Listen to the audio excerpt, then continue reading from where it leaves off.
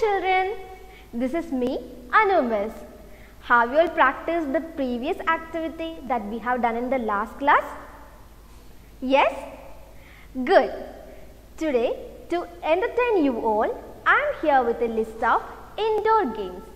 Are you ready to play? Dear parents, help your child to practice these games under your supervision. Today's activity will help your child to improve their gross motor skills and balance. Balance is the ability to hold body upright and steady without falling down. This could be in sitting or standing, moving or standing still, with eyes open or closed. Children, have you seen a flamingo? It is a bird which can balance on one leg. Now, Mrs. going to check how well you can balance. Stand straight, then bend your left knee and slightly raise it. Stretch your hands to the sides. Like this, you have to balance for 5 seconds. Children, now let us do it together. Miss will count. You have to balance with me. Ready? Good. Now stretch your left leg. Balance on your right leg. One, two, three, four, five. Very good children. Now let us do the same activity with our right leg.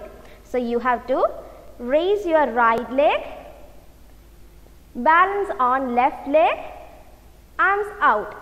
One, two, three, four, five. That was amazing children. So you are having good balance. Now let us move on to our second activity.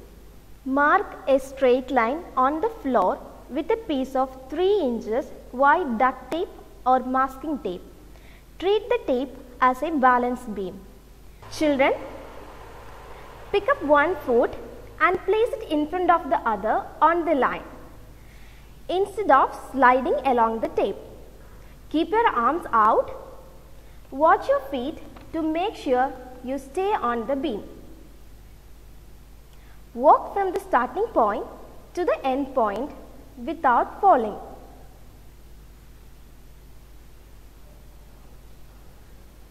Now, walk backward with arms out to the sides to maintain balance.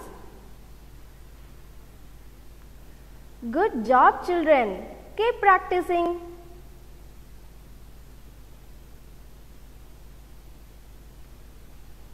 Children, hope you have enjoyed the class. See you soon with another activity. Bye.